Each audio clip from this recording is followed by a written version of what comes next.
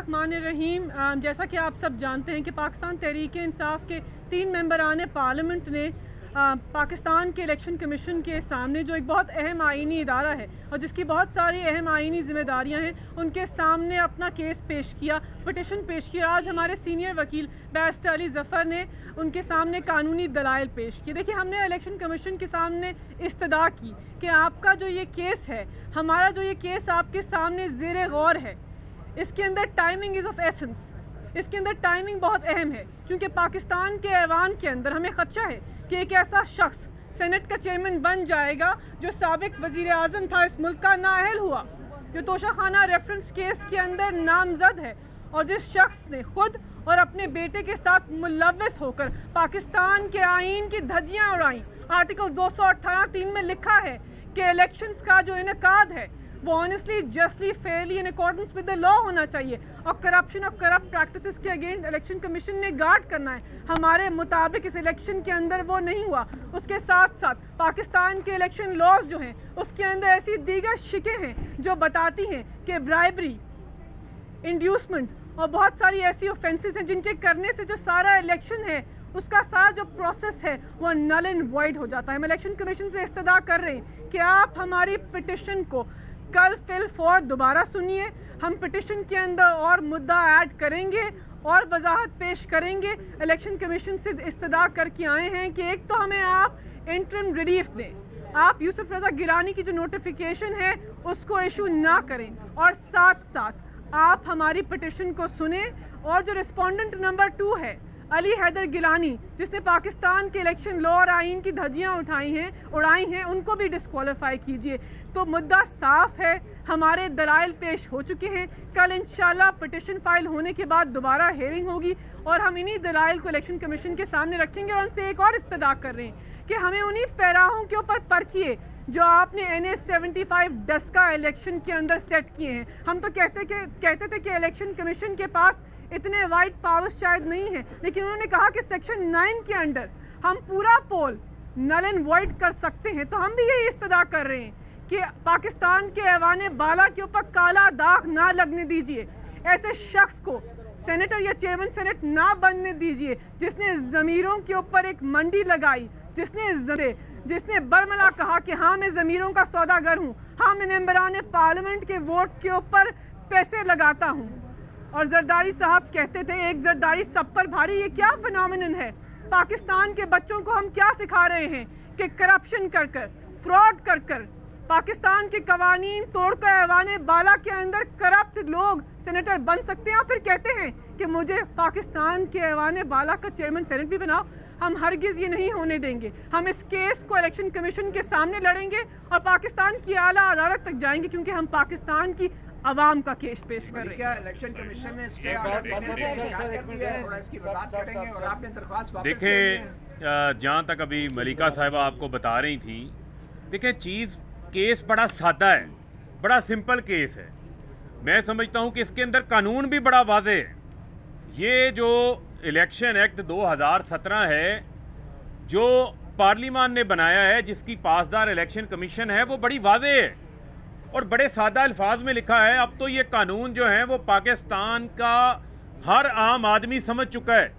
यही वजह है कि ये केस इतना अहमियत इख्तियार कर गया है कि पाकिस्तान के हर शहरी ये जानना चाहता है कि वो कौन सा कानून है, वो कौन सा इख्तियार है, वो कौन सा आइन है जो हमारे मुंतखब होने वाले उम्मीदवार आनंद को ये राइट देता है कि वो लोगों के ज़मीर खरीद के आएँ वो पैसा चला के आए, वो करप्ट प्रैक्टिस करके आए, वो आइन की पामाली करके आए हैं, वो इलेक्शन कवानीन की पामाली करके आए और बात यह है, जब करेक्टर के ऊपर बात होती है तो हम आदि मुजरमों का केस लेकर आए हैं।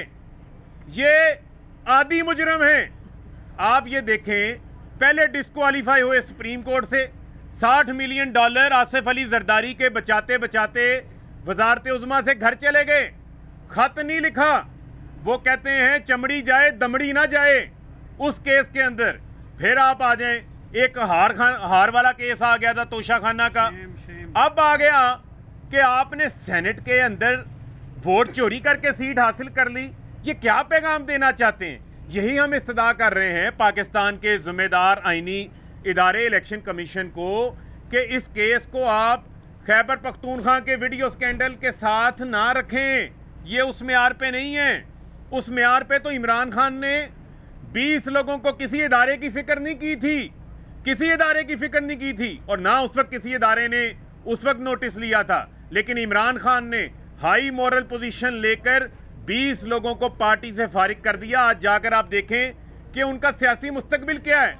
कोई काउंसलर भी नहीं बना कोई चेयरमैन भी नहीं बना। ना उनका कोई भाई रिश्तेदार सीट जीत सका। तो लिहाजा यहाँ पर मिसाल कायम करना इंतहाई ज़रूरी है। पूरी कौम की नज़रें इलेक्शन कमीशन के ऊपर लग रही लगी हुई हैं और हम उम्मीद करते हैं कि इलेक्शन कमीशन जिस तरह आज हमने ये शो किया कि यूसुफ रजा गिलानी के साहबजादे प्रिंट मीडिया के आगे, सहाफ़ियों के आगे, इलेक्ट्रॉनिक मीडिया के आगे, आप दोस्तों के सवाल के ऊपर ही उन्होंने इतराफ़ जुर्म किया कि वो लोगों को वोट ज़ाया करने का तरीका बता रहे थे। फिर वजाहत देते हैं कि मैंने कहा निशान ज़दा आप निशान ज़दा बैलेट का कह के क्या इलेक्शन कमीशन की क्रेडिबिलिटी के सवाल उठा रहा था? गिलानी का बेटा? ये सवाल भी इलेक्शन कमीशन को उनसे पूछना चाहिए। गिलानी के बेटे को किसने ये बात बताई थी कि निशान ज़दा बैलेट पेपर दिए जाएँगे वोटर्स को? ये सवाल भी पूछना चाहिए। और हम ये चाहते हैं, आप जिसको रिस्पोंडेंट बनाना चाहते हैं, जिस जिसको बनाना चाहते हैं, बना लें। लेकिन वक्त कम है, जिस तरह मलिका साहबा ने बात की। वक्त कम है, क्या ये सूट करेगा इस मुल्क की जमहूरियत को कि एक शख्स जिसके बेटे की वीडियोस मीडिया पर चल रही हैं दो मार्च से, आज नौ मार्च हो गई है हजूर। नौ मार्च, सात रोज गुजर चुके हैं। और आप इंतज़ार करें कि हम एप्लीकेशन ठीक करके लेकर आए, हम ज़रूर लेकर आएँगे, हम आपका एहतराम करते हैं। लेकिन यूसर रजा गिलानी के बेटे को भी नोटिस जारी होना चाहिए, क्योंकि वो रिस्पोंडेंट हैं। उनसे पूछा जाए कि किस तरह वो 168 इलेक्शन एक्ट की खिलाफ वर्जी कर रहे हैं, ब्राइब ऑफ़र कर रहे हैं, डील कर रहे हैं। 170 156 इलेक्शन एक्ट का वोट ज़ाया करने के लिए उनको तरगीब दे रहे हैं। ये सवाल उनसे पूछे जाने चाहिए। इलीगल प्रैक्टिसेस का हिस्सा है और वो उसके बेनिफिशरी और कोई नहीं है। यूसुफ रजा गेलानी है, जिसका केस हम यहाँ पर लेकर आए हैं। और हम पाकिस्तान की आवाम का मुकदमा लड़ रहे हैं और उनका मुकदमा इंशाल्लाह हम भरपूर तरीके से लड़ेंगे और आवाम को हम लेट डाउन नहीं होने देंगे। फरक साहब ये बताएँगे इलेक्शन कमीशन ने आपको। स्टे ऑर्डर क्यों नहीं दिया। फरक साहब इलेक्शन अच्छा जी जिस तरह मेरे दोनों कलीग्स ने बात की कार्रवाई का बता दें आप। क्या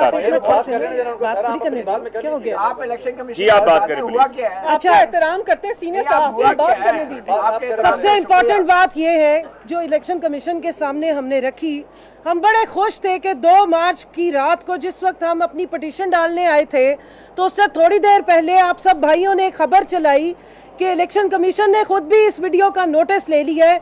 लेकिन जब आज हमने कमीशन के सामने ये बात रखी तो उनके लिए ये बात भी एक ब्रेकिंग न्यूज़ के तौर पे सामने आई कि इलेक्शन कमीशन ने तो कोई ऐसा नोटिस लिया ही नहीं है। जिसकी वजह से मेरे ख्याल में ना सिर्फ़ हमें 22 करोड़ आवाम को भी मायूसी हुई। हम बड़े खुश थे कि शायद ये वीडियोस जो हैं, ये पहले ही इलेक्शन कमीशन इनको देख चुका होगा और इनके अंदर जो कन्फेशन हुआ जो माना यूसुफ रजा गिलानी के बेटे ने कि वो मुख्तलिफ़ जगहों पे कहीं के पी पे फ़र्क रेट दे रहे हैं, कराची का रेट फ़र्क है, फलानी जगह फ़र्क रेट है, वो सारी बातें, वो सारी चीज़ें आज हमें क्लिप्स में दिखानी पड़ी, क्योंकि पहले से कोई नोटिस नहीं लिया गया तो ये एक और खबर आपको दे रहे हैं। दूसरी बात जो बहुत इंपॉर्टेंट है, एक शख्स जिसका इलेक्शन कंट्रोवर्शियल हो गया, जिसने इलेक्शन खरीदा और फिर उसका बेटा आके खुद लोगों को कह रहे हैं कि यूसुफ रजा गिलानी के लिए मैं वोट मांग रहा था, मैं वोट खरीद रहा था, मैं सिंध हुकूमत का फंड इस्तेमाल करना चाह रहा था। मैं लोगों को कह रहा था कि 10-10 करोड़ का आपको डेवलपमेंट फंड भी देंगे 5-5 करोड़ आप अपनी जेबों में डाल लें। तो साथ ये भी पता चल रहा है कि पूरी सिंध हुकूमत को भी इस्तेमाल किया जा रहा है। वहाँ से हमें जरदारी साहब का बयान सुनाई देता है कि बीस का कहा था, पाँच का फ़र्क निकला है टोटल तो इसमें तो आप देखें कि कहाँ कहाँ किस किस लेवल से मैनुपलेशन की जा रही है। मरियम बेगम बीबी का जब बयान सुनाया जाता है कि इस इलेक्शन में सेनेट के इलेक्शन में नोट नहीं पीएमएलएन की टिकटें चली हैं उसको री करते हैं जावेद लतीफ़ साहब एक प्रोग्राम में बैठ के। जुबैर साहब पहले ही बयान दे रहे हैं कि बारह एम को हमने कांटेक्ट किया हुआ है। बिलावल आके आप ही कि, किसी चैनल को वैलिडेट करते हैं कि जनाब बिल्कुल आप ठीक कह रहे हैं हमने वाकई नून लीग से टिकटें मांगी हैं मुख्तलिफ़ एम के लिए। तो ये सारा इंड्यूसमेंट के ज़ुमरे में आता है। इलेक्शन कमीशन के पास इतनी पावर्स हैं कि अगर उनको रेट पटिशन या एप्लीकेशन ना भी ना दी जाती तो तब भी वो एक्शन ले सकते थे। और यही सुप्रीम कोर्ट ने उनको डायरेक्शन दी थी कि फ्री एंड फेयर जो इलेक्शंस हैं, उसको आपने इंश्योर करना है। उसके बावजूद हम दो पटिशन्स डाल चुके आज हेयरिंग भी हुई, लेकिन लेके हम वापस ये आ रहे हैं कि अभी हमने दोबारा एक और पटिशन ठीक करके लेकर आनी है। तो मेरी इल्तजा इलेक्शन कमीशन से कि खुदारा ये इलेक्शन ठीक करना इलेक्शन का ट्रांसपेरेंट होना, एक सादिक और अमीन बासठ और तिरसठ पे पूरा उतरने वाला शख्स जो है, वो जाके ओथ उठा सकता है। और वो, उसको इंश्योर किसने करना है? उसको इंश्योर इस इदारे ने करना है, जिसका नाम इलेक्शन कमीशन ऑफ़ पाकिस्तान है। जब उसका बेटा कह रहा है कि मैं अपने बाप के लिए वोट खरीद रहा हूँ, जब वो खुद कह रहे हैं गिलानी साहब कि अपने एम को संभाले, हमारा तो काम है इनको जाके ऑफरें करना। तो फिर आप खुद बताइए कि ऐसा शख्स क्या आइन के आर्टिकल बासठ और तिरसठ पे पूरा उतरता है। ऐसे शख्स को क्या ओथ लेना चाहिए? ऐसे शख्स का इलेक्शन कलदम क्यों नहीं करार दिया जा सकता? कुछ ये कि उसको आपने नॉमिनेट कर दिया चेयरमैन सेनेट के लिए और अभी हम जो है वो नई पटिशनों और पुरानी पटिशनों में कमी बेशियाँ ही पूरी करते फेरे हैं। तो आज हम अब पूरी आवाम को गवाह बना रहे हैं कि हमने अपनी पूरी कोशिश की है और कोशिश करते रहेंगे कि इन ऐवानों में जो लोग जाएँ उनका बासठ और तिरसठ भी हो सादिक और अमीन भी हो और इदारे भी अपना काम पूरे तरीके से करें। हमारा काम था पूरा मेहनत करना, हम करेंगे, डटे रहेंगे, कोशिश जारी रखेंगे और हमें पूरी उम्मीद है कि इलेक्शन कमीशन ऑफ़ पाकिस्तान, जो एक पाकिस्तान का आइनी और बड़ा इदारा है, जिसने इस इलेक्शन की क्रेडिबिलिटी को इंश्योर करना था और है, वो भी अपना रोल पूरा करेगा। इन ताला कल हम आएँगे वापस, दोबारा नई पटिशन लेके और बाकी जो होगा वो फिर आपके सामने ही होगा।